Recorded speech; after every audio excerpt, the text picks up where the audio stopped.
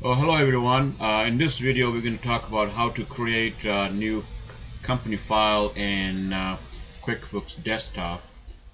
So I'm at the uh, home page screen here. So you go to File and then select New Company. The, the, this, the process still the same if you are downloading uh, new QuickBooks file. So it, it, still goes to the same thing. Uh, so in this case I already have a home screen page here so just click new company.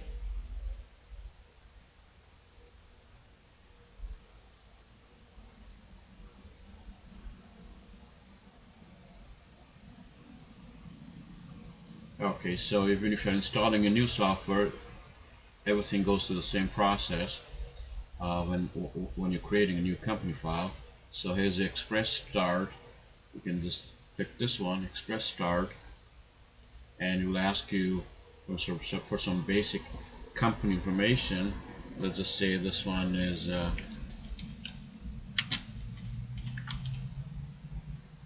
so let's say this is in consulting business.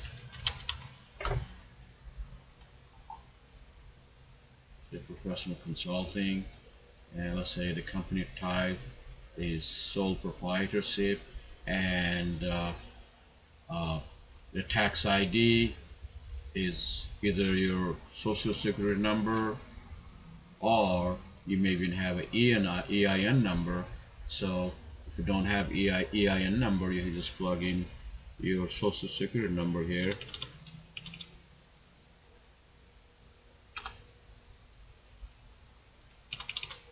Like this. And let's say you are a corporation. So at that point you you definitely will have an EIN number like this and they ask do you have employees? And for some reason uh,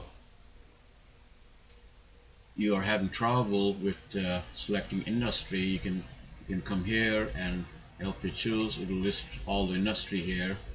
And uh, so here's, here's the one I picked here. It's professional consulting. And all this does is it'll uh, help to create chart of accounts, the company chart of accounts for you, and uh, uh, most likely Intuit also keeping track of your uh, statistic by industry too. So right now this information you need and just click continue. Okay, so now you put in your uh, your company address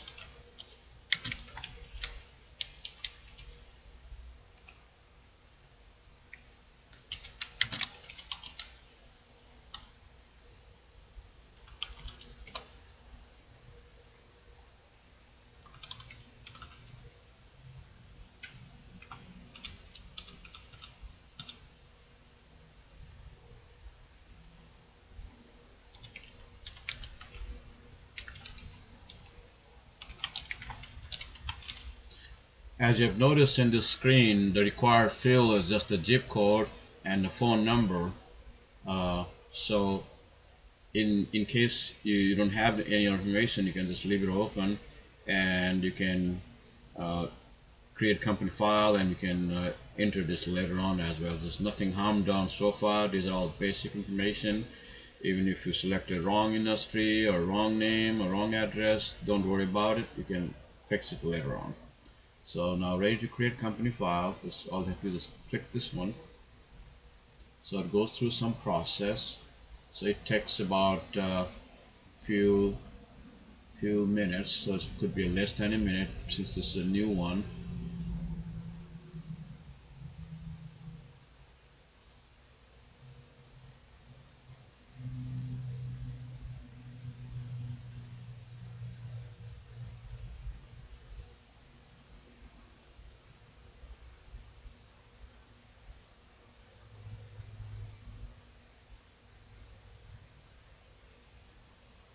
So here we go.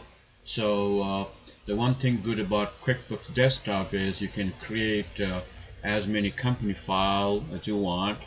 Uh, it's just like creating uh, all kinds of files in Excel spreadsheet. It's the same thing. You create files, you just save it on desktop. That's about it. uh, whereas in QuickBooks Online you can create just one company file per subscription so if you want to create another company file you have to pay for it and you need to add another subscription. So in QuickBooks Desktop you can create as many company you want. You just buy one software that's it. Okay so now at this point you can just say start working or you can import uh, your uh, data like your customer data vendor data that kind of stuff. Uh, you can do that later on too and uh, it's the same thing with this one. This one normally you may not have any information. So if you are uh, transferring from uh, uh, old QuickBooks to this new QuickBooks they may still have this information. So you can you can uh, transfer all this information later on too. And if you want to do online banking this is the time to add or even this one you can add it later on. No harm done alright so let's just get started and start working and we'll handle all these later on. So start working.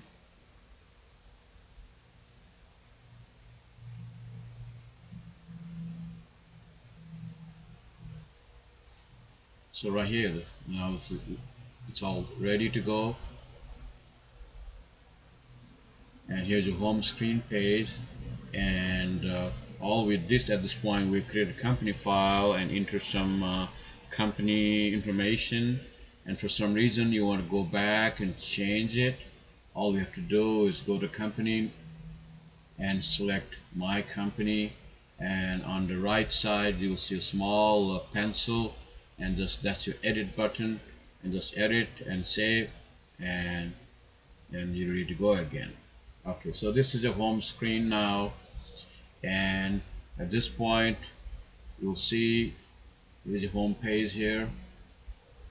And then on the right side you have a chart of accounts. And then you have items and services. So chart of accounts this is where you list all your accounts. As you can see here, it says view and modify your QuickBooks account, like bank account, your income account, and expense account, and items and services. Those are the ones. It's like a product list. It'll just the item code, and that will uh, map to your chart of accounts right here. For income account, if you're invoicing it, uh, and if it's like a product type it will map to your chart of account income as well as your cost of goods sold so this is like a your uh, product code and when you're doing invoicing you will select your product code here. So so in order to get here you can use right here item services chart of account or you can go to your list and you will also see chart of accounts here and item list. And then you have uh, so you're ready to go. So all you have to do is in this example you just want to create invoices. So just click this one create invoices and uh, the next time in the basic difference between create invoice and sales receipt right here so create invoice will say bill your customer and receive the payment later so you bill now and send out the your uh, invoice and then they will make the payment later on with terms like net 30 days, net 15 days, or net 10 days, whatever terms you offer to your customer. So that's what it is. And and sales receipt, so you bill your customer and receive the payment at the same time. So you got you you got the payment at the same time at the time of your invoice, uh, billing. So that's what it is. Create sales receipt. And uh, so if you invoice it, once you receive payment, you just select your receive payment button here. So this will record your payment. So it's a record your payment you have received from a customer against an invoice or billing statement.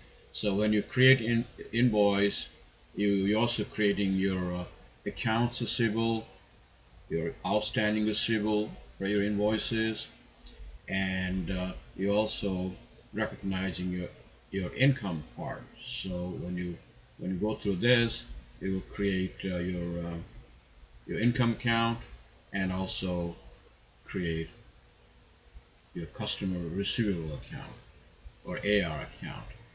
And if it's for products map to uh, your inventory. It will also take out inventory at a time of invoicing. It will reduce inventory and the cost side goes to cost of goods sold. Uh, that's your P&L side. Okay so once you receive payment you just click it here and then at this point you can directly send the payment to the bank or you can send it to undeposited funds.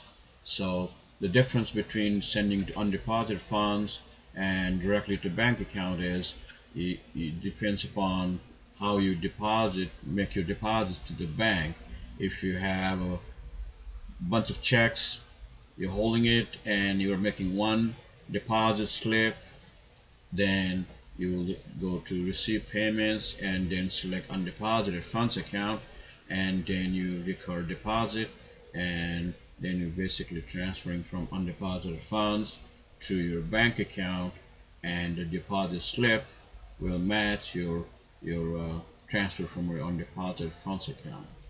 So basically that's what you have to do on the customer side and on the uh, vendor side when you write a check all you do is come here and write a check. It'll just take out money from your bank account write check right here. And uh, if you are entering bills and you're going to pay later on this is right here just like you're in creating invoices to your customer and this one the other way opposite side you're entering bills and you're going to pay it later and then when you're ready to pay just click here and we'll take out money from your bank account.